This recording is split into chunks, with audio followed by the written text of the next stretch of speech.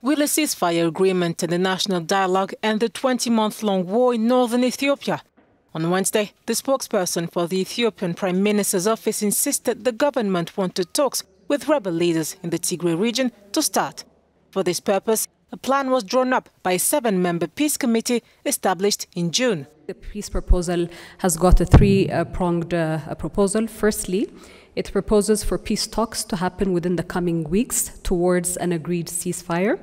Secondly, it proposes to undertake an in-depth political dialogue between, leading, uh, um, uh, between the parties, leading towards a settlement. And thirdly, it proposes for any other pending issues to be addressed through a national dialogue. The TPLF rebels dismissed the committee's call as an obfuscation. If both sides have named negotiators, the parties differ on several issues and prerequisites to the talks.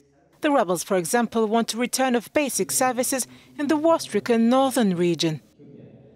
For the basic services to happen, we are saying that a conducive operable environment needs to happen, which guarantees the safety of federal service providers to operate freely and with guarantees that um, their safety is, uh, is uh, facilitated within the region. And at the moment, with a very vocally belligerent and illegally armed group operating at its own whim, um, and refusing to accept peace talks, the required enabling and secure environment is lacking for the restoration of uh, services. Fighting has eased since a humanitarian truce was declared at the end of March, but a political solution has yet to be found.